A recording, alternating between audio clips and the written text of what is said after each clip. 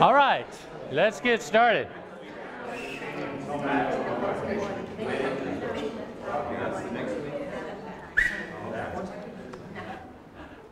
Thank you, thank you.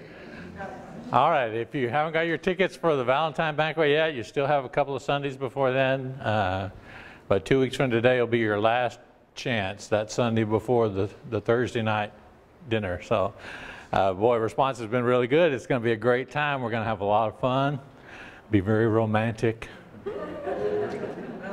It's going to be going to be a great evening. So I'm excited about it. Yes, John.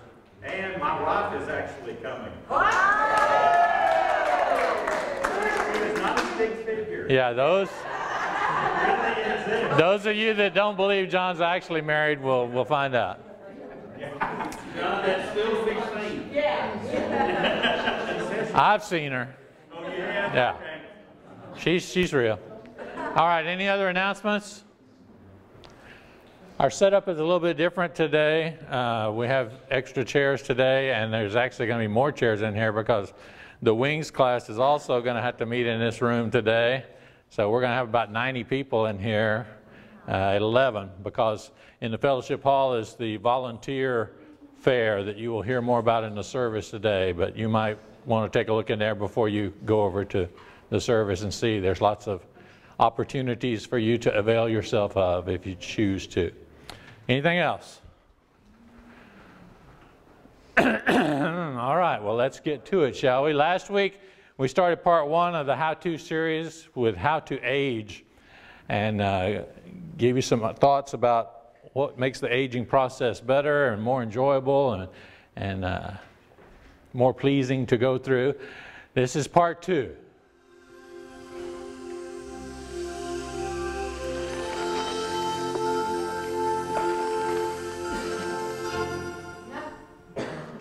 How to die. Nobody ever talks about this. Uh, most of us come to the end of the road and, and we're unprepared for it. And so today's uh, session is to kind of address that and maybe give you some things you have not thought about, some things you can actually do to be prepared to, to uh, when the time comes so that you will be able to die better than if you had not heard some of this information today. Uh, to start out with, I looked, I, I, I, love people that have a sense of humor, even at the end of their lives. And so I like people that have enough of a sense of humor to leave a joke behind or to leave something amusing behind. And sometimes you see it on, even on a tombstone. You'll find something that uh, makes you smile. Like, I don't know who this woman was, but she must have been quite a character. Doreen Hall. Toots was her name, poker was her game, apple pie was her fame. Almost 70 years of age, she must have been quite a character. And one that you've probably heard of before, one of the best known um, epitaphs, I guess, is on this gentleman's tombstone. At the bottom it says, I told you I was sick.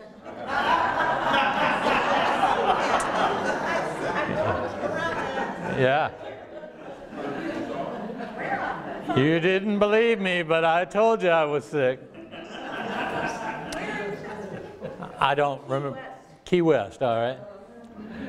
Actually, there's probably more than one of those, but uh, I've always liked that one. And then here's a, another man. This one may be a little hard to see. At the bottom it says, I made a lot of deals in my life, but I went in the hole on this one.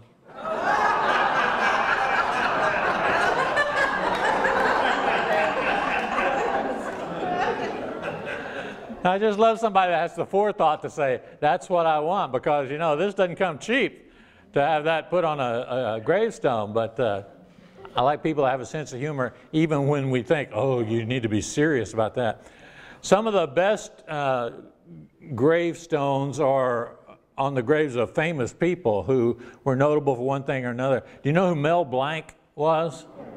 Mel Blanc was the voice of every cartoon character you grew up with. Bugs Bunny, Daffy Duck, Sylvester, and especially Porky Pig. On Mel Blanc's tombstone it says, that's all folks. Which I thought was very nice. The actor Jack Lemmon on his tombstone had a very creative approach to it too. You know, you got to think of it like the opening credits uh, of a movie because his stone just says Jack Lemmon in.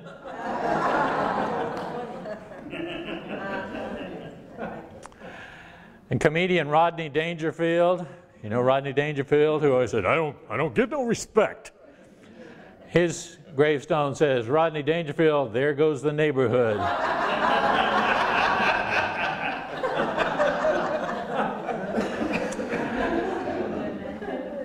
And then a man who uh, spent most of his life on TV in one form or another, Merv Griffin, uh, who had his own talk show for many years. Did you know Merv Griffin created Jeopardy? That alone would have been enough to make him wealthy and a celebrity, but he also had his own talk show and created some other game shows. On Merv Griffin's gravestone, it says, I will not be right back after this message. And then I came across a, a stone. If you're, if you're thinking, what would be something really, really neat that I could put up on my, uh, my gravesite, you might want to consider this one. I, I don't know who would use that, but apparently somebody has it for sale. I found some obituaries too that were amusing too. You, we have the opportunity to write our own obituary, but most people don't ever do that. But I found a guy that, that that died last year, just about a year ago. His name was Michael Blanchard. Yeah, Michael Blanchard, but everybody called him Flathead. So his obituary says Michael Flathead Blanchard, 1944 2012. Here's how it read in the paper, and Michael wrote this himself. A celebration of the life of Michael Flathead Blanchard will be held April 4, 3 p.m. Uh, Weary of reading obituaries noting someone's courageous battle with death, Mike wanted it known that he died as a result of being stubborn, refusing to follow doctor's orders, and raising hell for more than six decades. he enjoyed booze, guns, cars, and younger women until the day he died. and then it tells about uh, who survived him, his family, and things like that, and some of the things he did in his life. Then at the, the last paragraph it says, so many of his childhood friends that weren't killed in Vietnam went on to become criminals, prostitutes, and or Democrats. he, he asked that you stop by and retell the stories he can no longer tell. And as this celebration will con contain adult material, we respectfully ask that no children under 18 attend. now that's a funeral. That's an obituary. Another thing we think about when, when people uh, die is what were their last words? What was the last thing they had to say? It's, it's an interesting opportunity. Most, very few of us know it's going to be our last words. I went through, oh, I went through a 600 page book this week that's nothing but a collection of people's last words. 600 pages, and I found about six that I used today. Most of them are not very special. An amazing number of people's last words are, I love you, which is a beautiful and nice thing to say. But the ones I was most interested in are people that, whose last words are intriguing or humorous or, or just inexplicable. And so I pulled some examples of some people, famous people's last words. For instance, uh, Henry Ward Beecher, who was an evangelist in the 19th century, uh, was on his deathbed, and his, his final statement was this Now comes the mystery. I like that. A man that preached the gospel his whole life realized he didn't know it all yet. There was a mysterious part coming, but he was not afraid of it. He was looking forward to it. O. Henry, who dwelled in Austin for a period of time, wrote a lot of great short stories. Uh, his real name was William Sydney Porter. O. Henry's last words were, turn up the lights, I don't want to go home in the dark. That was actually a reference to a popular song at the time about uh, leaving the light on so I could find my way home. One of the most ironic ones was said by a, a, a, Union commander in the Civil War in 1864, General John Sedgwick. He, with a battalion of his men, were, were amassing, preparing for an attack, and some of his men were acting very scared and ducking down because they could see some Confederate troops off in the distance.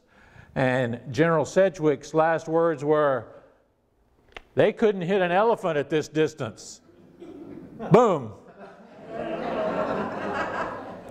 Yeah. One of the most intriguing last statements that I found is by the poet Henry David Thoreau.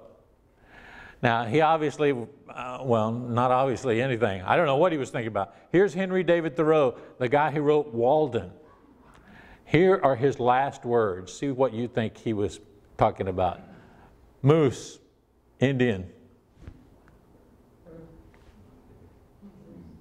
I don't know.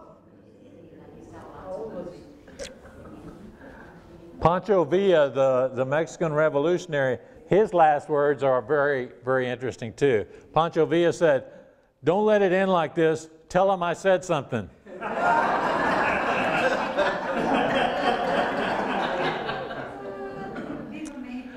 and Oscar Wilde, the great British wit who said more witty things than possibly anybody who ever lived, as you might expect, his last words were something witty.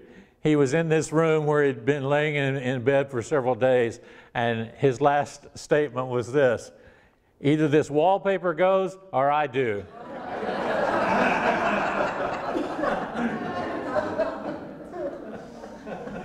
now, one guy who is, who is dear in the hearts of this class, especially, is James Brown.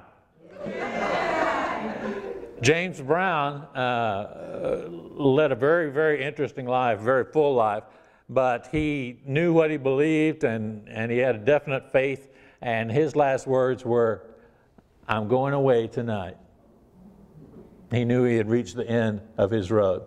Daniel Defoe, the guy who wrote Robinson Crusoe, had a very interesting statement that I, you could spend a whole lot of time talking about this. Daniel Defoe said, I don't know which is most difficult in a Christian life, to live well or to die well.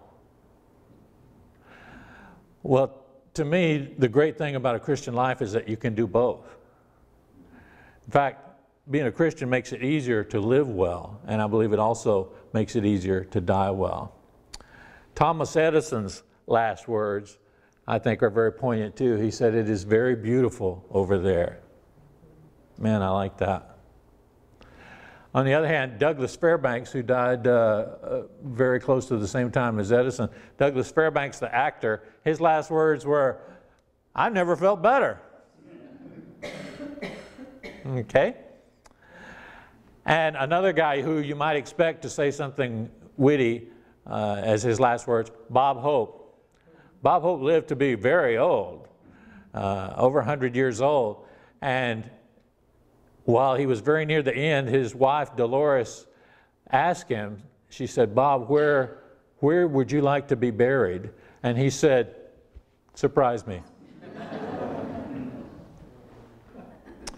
there was a writer in the 30s named Wilson Mizner that, that said, said and wrote a lot of very witty things, wrote some great screenplays and things like that. And he was near the end of his life, and a priest came to see him and walked into the room, and the priest said, uh, a lot of your friends figured you, you might really want to talk to me.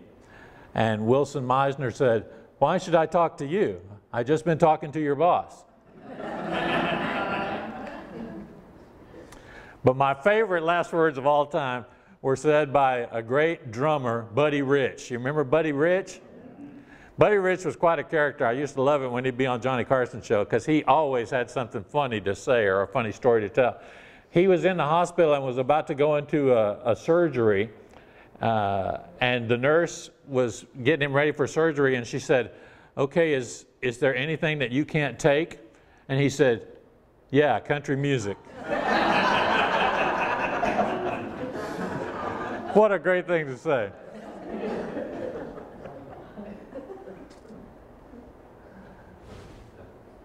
So I, I, think, have you ever thought about what you want your last words to be? How would you like to go out? What would you like to leave behind? You got some time, think about it. Now, um, how should we die then? Is there something we can think about in advance? How should we die?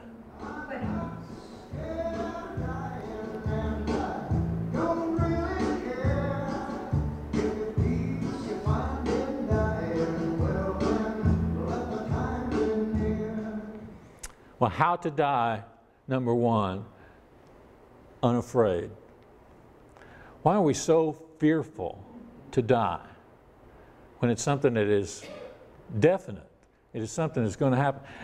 You ever notice that in the Bible, every time an angel shows up and appears to a human being, the first thing they say is, Don't be afraid. Fear not. Don't be scared. Angels are always trying to reassure us because apparently, anytime we get a glimpse of something heavenly, it tends to freak us out a little bit. Anytime we are faced with our own mortality, we can kind of shut ourselves off if we if we don't work at it. And even even just broaching the subject, I can see some of you kind of take a step back and say, I don't want to talk about this. I don't want to think about this. You need to think about this. You need to think what it means to die unafraid. How do we do that? Well, we, we examine the realities of what death means. We don't, we're not afraid of being born. We're not afraid of, of getting married. We're not afraid of getting out of school. We're not afraid of working. We're not generally afraid of retiring. But man, when we think about dying, we get all shaky. Why? Death is, is just another part of this experience. It's just another step. And it's not a scary step, it's just a different step. There's this verse that you're familiar with that asks some very good questions, but also makes some very good promises and guarantees. It says, Who shall separate us from the love of God?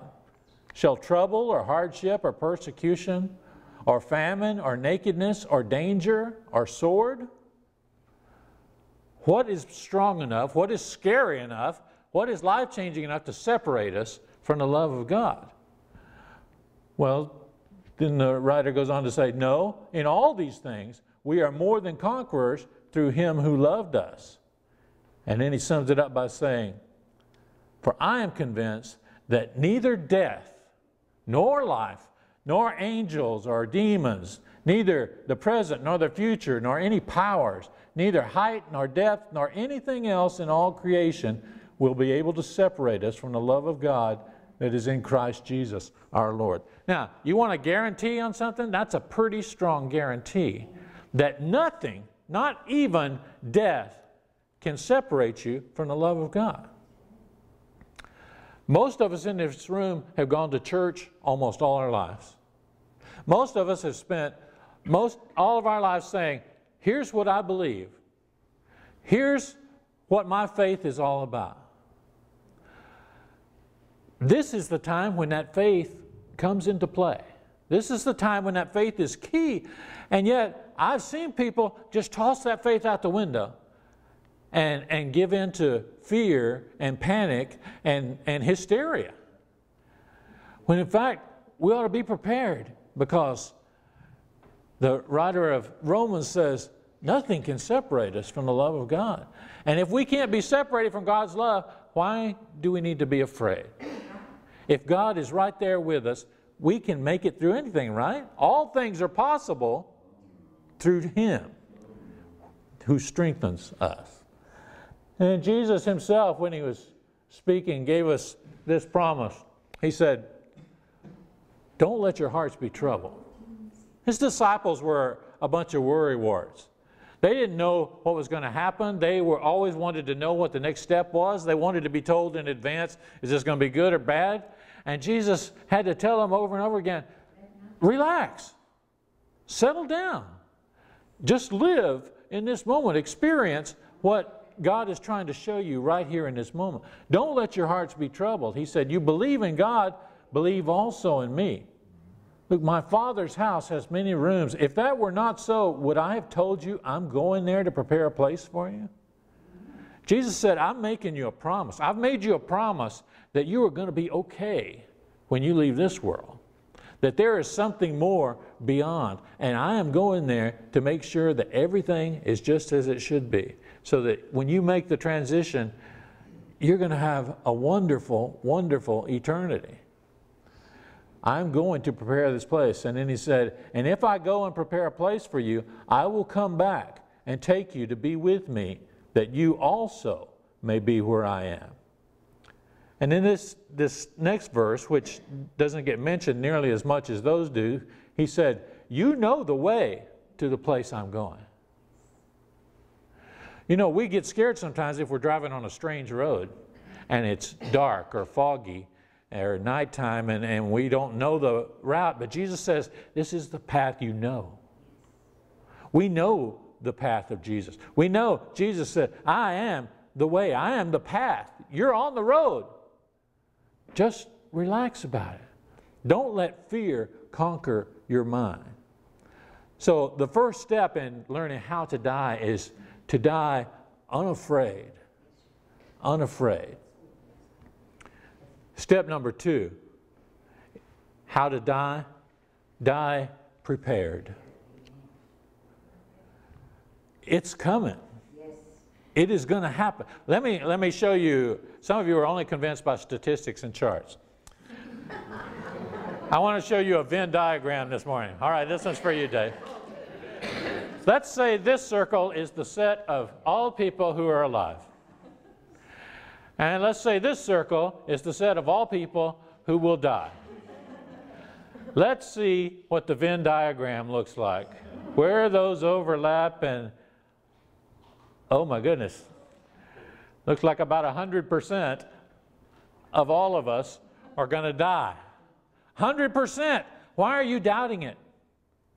Why are you refusing to think about it? It's like, it's like when you're putting off doing your term paper to the night before. And if you wait and say, when I'm on my deathbed, I'm going to make everything right, don't do that. You don't know that you're going to have that chance. But you do know, or you should know, that death is coming. Yes. You need to be prepared for it. Now, how do we prepare for it? First of all, we expect it. We know that it's going to happen. Uh, one of the things you know, I've wanted to do this series for maybe a year and a half or so. I've had this on my in my notebook of, of things to do, and so I've I've been looking and reading and watching and gathering stuff for the past year and a half. One of the things I watched was a documentary called How to Live Forever. I don't recommend that you go out and watch it because it was not what I was hoping it would be. But this documentary filmmaker wanted to know how how can we live longer than we live? He literally wanted to know if it was possible to live forever. And so he traveled all over the world. He went to certain sections of the world where, for some reason, people regularly live to be 110 years old. And he wanted to know what they ate, what the air was like, what their lives were like. And he couldn't really find the answer.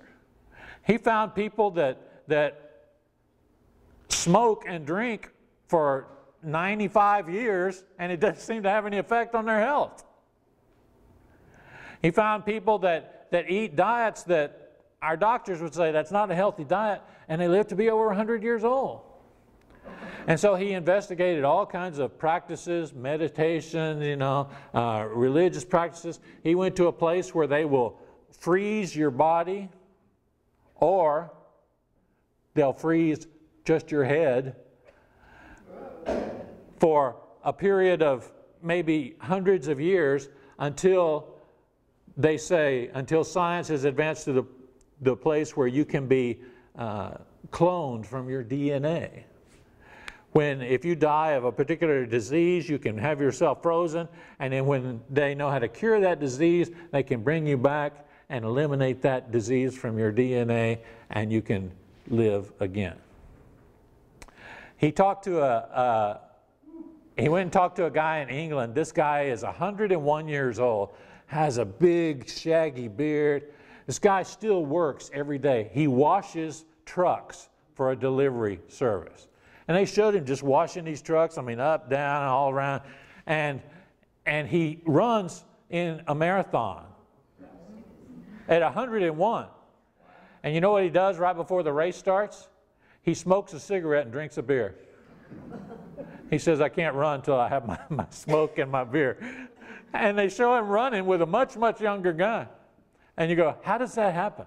Well, after watching this whole movie, I realized he didn't find any real answers. He, he did find who was the oldest person in the world at that point, who was like 114 years old. He found her, filmed her. She didn't have a lot to say. And by the time he finished the movie, she was dead, and somebody else was now the oldest living person in the world. And so the message I came away from his movie with was who wants to live forever? It, life is not about how long it is, it's about how good it is. It's about how abundant your life is. Not abundant in quantity, but abundant in quality. You can live to be 114 years old, but I don't think that woman he talked to was enjoying life a whole lot at 114. I would rather live, live my life fully up until the moment I leave this world. And, and when I'm no longer able to live a life that is fulfilling, I'm ready to go. I'm prepared. So I'm expecting it. I know it's going to happen. And you know what? If it happens today, I'm ready. I'm not wanting to go today, but if it happens today, I'm ready. I love the life I've had up to this point. And yeah, there's stuff I would still like to do, but I, I could leave today and say, wow, that was great. What a, what a ride that was. Expect that it is going to happen is part of being prepared for life. The next thing about being prepared, I will be done. And what I mean by this is get your will done. get thy will together. You don't want strangers deciding what to do with your stuff that you've spent your life accumulating. You don't want fistfights to break out at the funeral. And I've seen it happen. You don't want your possessions that you've thought for your adult life or the past few years of life, you don't want the things you've thought, I can't wait till I can give this to so and so. They will enjoy this so much. You don't want them bickering over, no, I, that's mine. No, I'm supposed to get that. No. Solve that before it ever happens by getting your will done and be as complete in it as you possibly can as far as the division of your possessions. Because death in the family seems to trigger a lot of greed, a lot of uh, jealousy, uh, a lot of old issues come to the top when brothers and sisters start fighting over who's going to get mama's china cabinet, you know. So eliminate that stuff by, by getting your will done and keeping it up to date when things change. Part of preparing for death, part of preparing is repairing. I talked to you last week about the regrets that people have, that list of the top five regrets that people have when they are dying. And most of those had to do with relationships that had been damaged. One of the regrets was, I wish I'd had more time with my family. Another one was, I wish I had kept in touch with my friends. Another one was, I wish I had told people more than I loved them. You know what? You got time right now to be in repair mode. You got time now to, to mend those bridges, to mend those relationships, and even to make new relationships. You can make a friend, even at this point in your life, that could be your best friend for the rest of your life. But right now is the time to do it. Not when you are, are feeble and gasping for breath, saying, I need to tell everybody how I feel. Tell them now. They'd love to hear it. They'd love to hear. Who doesn't want to hear, you know, I love you? I don't tell you enough, I love you. Who would want to hear that? Tell them now while you still have the opportunity. Another way to prepare for death is to streamline. We spend 80% of our lives accumulating stuff, and then we spend the last 10 or 20% getting rid of stuff. And it's an interesting process. If you haven't ever gone through it, you will. Because there's going to come a, a point in time where you either get overwhelmed by your stuff or there's going to come a point in time where you think, we've got to move into a smaller place. We don't need all this room.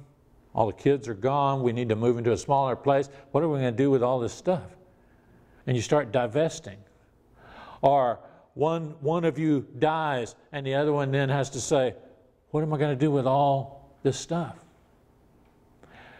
That this era in our life is a great time to streamline, to decide here's what I would like to do with some of the things I have gathered in my lifetime.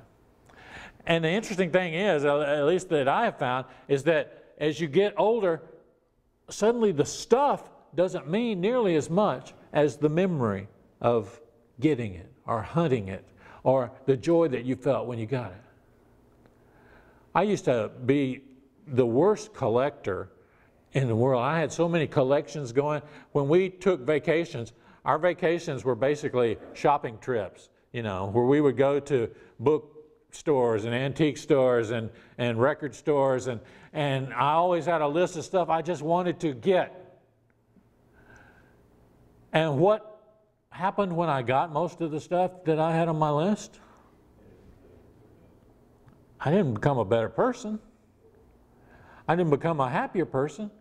I might have become more intelligent about the things I acquired because I learned more about this person's music, or I read more of this author's books, or I saw all of this person's movies, or something like that. But it was the search that was the exciting part.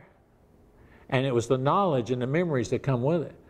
And so I finally reached a point in my life a few years ago where Lisa and I both were able to say, we can get rid of some of this stuff.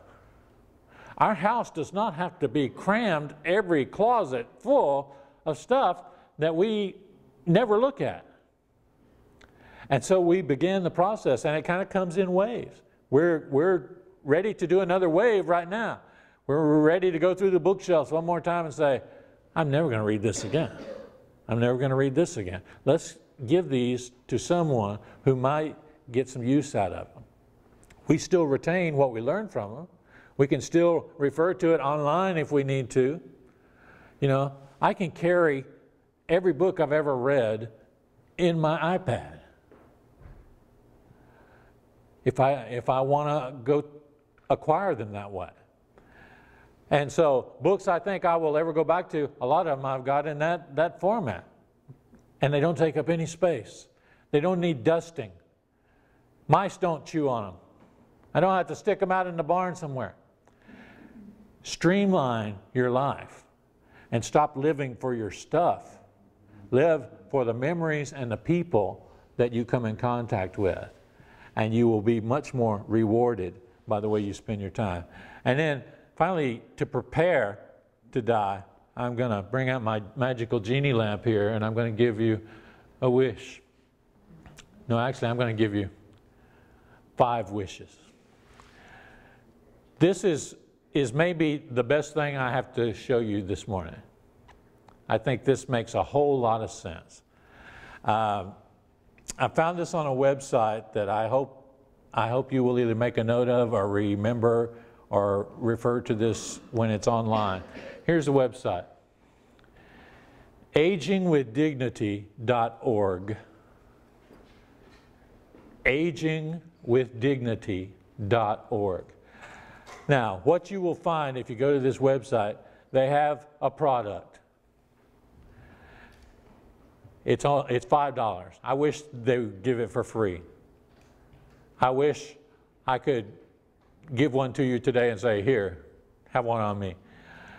But they have a product that I'm very impressed with, and it is a little booklet called Five Wishes. And for $5, they will send you this booklet. It's about 12 or 14 pages. And it has places for you to fill out and express your wishes on five very, very key subjects. The person I want to make care decisions for me when I can't. Well, let me just show you that, that page. Okay, it says, here's who I want to make the decisions about my health. Now, your, your will may cover some of this, but this goes into more detail than most wills do, and it's very specific, and it's something you can and can take in your pocket when you go to the hospital, or you can make sure everybody knows where it is at the house or the office. Here's who I want to be my healthcare agent.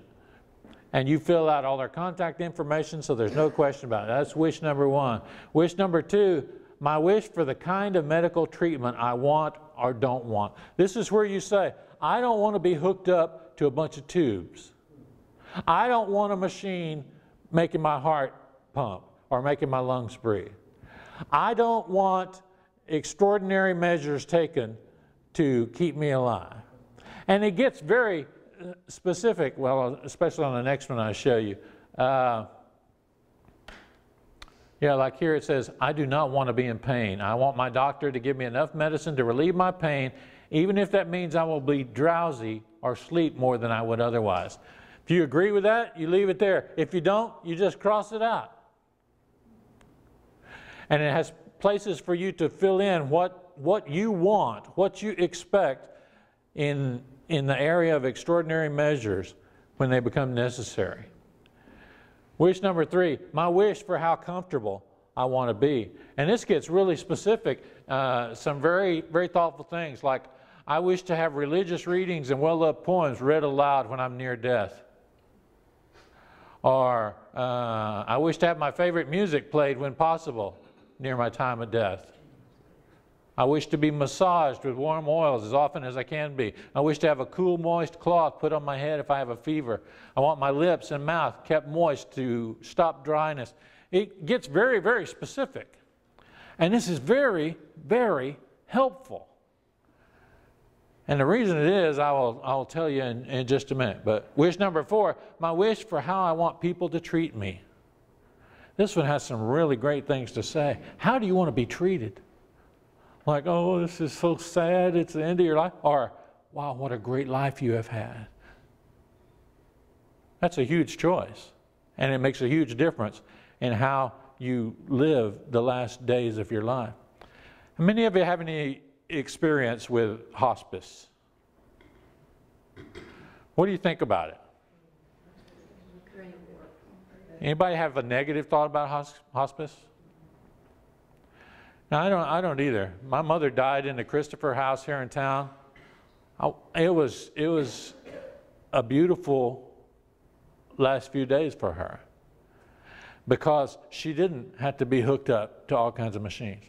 On the other hand, my dad died with a tube down his throat and uh, pumped full of all kinds of fluid, so he was his body was swollen like like a tick, and and unable to communicate with us. My mother died peacefully, free from pain, in a bed in a nice room where she could look out the window and see a garden, and where her friends could, and family could come and stay as long as we wanted. There were no visiting hours. We could show up at 10 o'clock at night if we wanted to. They would let us eat there. It was a beautiful experience. You can express your wish for how you want people to treat you at that point in your time. And then wish number five, my wish for what I want my loved ones to know. And this covers everything from um, I wish for my family and friends to think about what I was like before I became ill. I wish for my family and friends to know that I do not fear death itself. I wish for all of my family, look at this, for all of my family members to make peace with each other before my death if they can. Even if you can't express it at that point, there it is. There's your wish down on paper with your signature saying, here's how I want y'all to get along. This is a great, great document, and, I, and I'm only showing you, showing you a little bit about it. Uh, if anyone asks how I want to be remembered, please say the following about me. If there's to be a service, I wish for this service to include the following and here you list your music, songs, readings, or other specific requests that you have. You know, I've done quite a few funerals since I became a pastor. And, and I, I don't mind doing funerals. I, I find them really, really meaningful. But man, it's hard sometimes when you talk to the family and you say, Is there a favorite song, a favorite hymn? I don't think so. I don't know.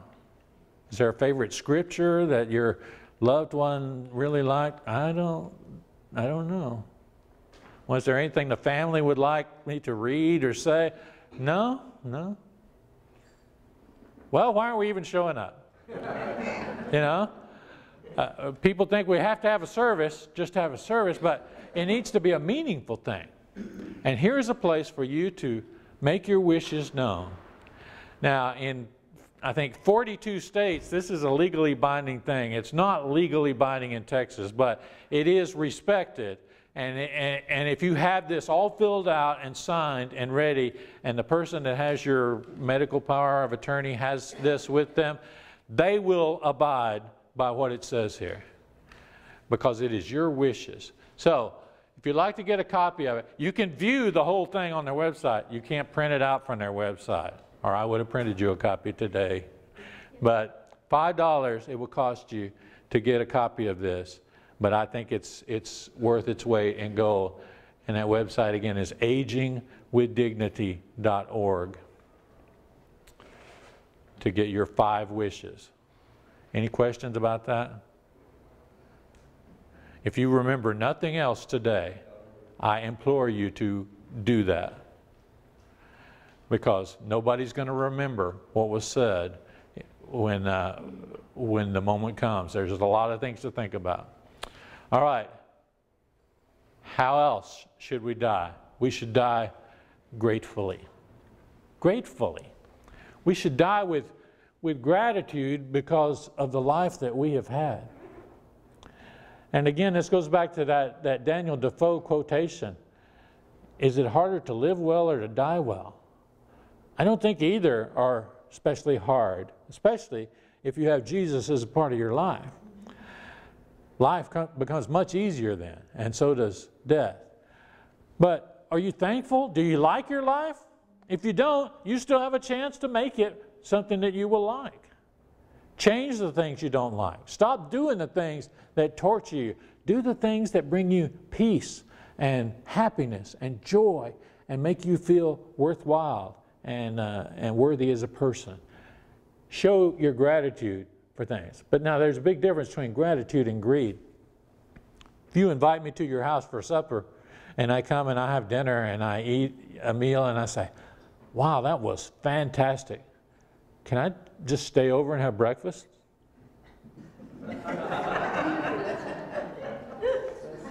or maybe, could I just come here every meal? And after about the third time I show up for a meal at your house, you begin to say, What is this guy's problem? Well, see, it's gone from gratitude to being greedy. And we're the same way when, okay, all of us in this room have had a decent amount of life. We've had several decades of life. It is greedy if we say, No, I want 20 more years. No, I want to live to be 112. No, you don't. You just want to live as long as you're really alive. And that's, that's the way to think about it. Not to be greedy and say, I need more years, I need more years. Instead, I want to just say, God, I am so thankful for the life that you have given me because it has been so wonderful. I want to always live and I want to die in a spirit of gratefulness. And then the next step in how to, how to die is very close to that. From gratefully, you also want to die gracefully. Gracefully? What does that mean? Well, I don't mean that you don't ever stumble when you walk, that you can do ballet stances at the end of your hospital bed. What does it mean to be full of grace? What is grace? Okay, if you're at this church and you don't know what grace is, you have not been paying attention. What is grace? Grace is God's love for us even when we do not deserve it, even though we do not deserve it. If we are to live gracefully, that means we are to love people the same way, even when they don't deserve it. I, I don't want to be a person who dies bitter. I don't want to be a person who dies with a grudge on my mind. I don't want to be a person who says, better this should be happening to him than to me. I want to die with grace and forgiveness and not have anything in my heart against anybody when my time comes to go. Because Jesus tells me if I don't forgive people, He doesn't forgive me. And I don't want that happening before I cross over to the other side. Well, finally, how to die. Finally, I want us to die beautifully. Now, what does that mean to die beautifully? I found a really interesting article uh, that I thought was very meaningful. It was called How Doctors Die. And it said, uh, you don't find doctors when they get a terminal disease, you don't find them in a hospital for six months hooked up to machines and tubes. They don't do it. You know what they do? They go home. They quit their practice. They close up their office. They go home. They know what is going to be necessary for them to manage the pain that comes with their disease. They place themselves among their family and their friends, and they die peacefully. And that is a great lesson because they know more about the medical system than anybody else, and they choose not to die in that system. Now, so why does that happen then? Well, doctors are, are honor and duty bound to do what a patient says. And so when something catastrophic happens to us and we're taken to the hospital, the doctor asks the family, What measures do you want to be taken for your loved one? And of course, we say, Everything, do everything. And that's not, that's not usually a wise choice. my mother, at the, last week of her life, she was, she was diabetic. She developed a huge sore on her foot. If she'd been in a hospital, the doctor would have said, We're going to need to amputate that foot. Well, see, me and my brother, and my sister, we knew my mother. And we knew one thing she would have never, never, ever said was, amputate my foot. And so we knew that she would have said, just keep me comfortable. I'm not going to be here very much longer.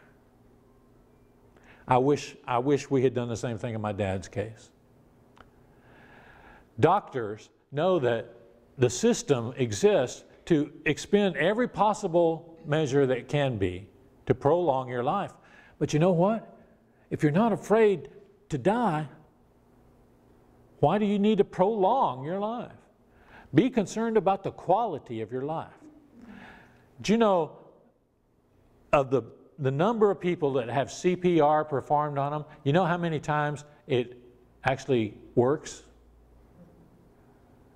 The doctor that wrote this article said out of hundreds of people he had seen brought into the ER and they had had CPR on them, he said, I have seen exactly one of them walk out of the hospital two weeks later.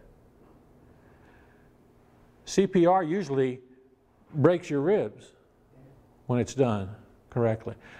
And, and that's just one more hurdle that you got to get over. Now, if you think about it, you probably have experience with somebody who went to the hospital and they got worse and worse and they kept taking more and more desperate measures and then they died and now we owe the hospital $800,000. Doctors don't do that. They say, I want to go home and die peacefully with the people I love. I want to die beautifully. I want to die beautifully too. Once again, from the book of Romans, look at this statement. None of us lives for ourselves alone, and none of us dies for ourselves alone. If we live, we live for the Lord, and if we die, we die for the Lord. So whether we live or die, we belong to the Lord. My brother, over the past two years, has gone through two, two different cancer experiences. One of them was a very, very rare form of cancer. Uh, the other one was, was more common, but, but they came one right after the other. He went through all the surgery and chemo and radiation of that first rare kind of, of cancer. And then when he went back for a checkup, they said, Oh, we found something else. And he told me in, in one of his hospital stays that his prayer through this whole thing was to be an example when he died to his family and his friends, to show them that it was not something to be afraid of, but an experience to embrace and say, Thank you, Lord, for the life I've had. I want to die that way too. This is your last chance to make a statement. This is your last chance to preach a sermon. And how you die is going to resonate with people. If you die crying and screaming and saying, Oh God, no, why me? It's going to leave an impression. But if you die saying, and, you know, out of that 600 page book I looked at, many, many of those people died saying, Thank you, Lord. Or, My blessed Jesus. Or, Oh, it's beautiful over there. The last day of my dad's life, we had decided not to prolong his life any longer. We should have decided it several days earlier. So they disconnected all the, the stuff they had him hooked up to. They, they took out the tube that had been down his throat for a couple of weeks. He, he was uncommunicative at the time. His kidneys had shut down. It was just a matter of hours. I sat in the room with him by myself for a while. He didn't even know I was there. But I watched him and his face was very active. And I don't know what he could see. He didn't have his glasses on. He, couldn't see very well, but, but he was looking at something. And I saw him knit his brow like he was really studying on some problem.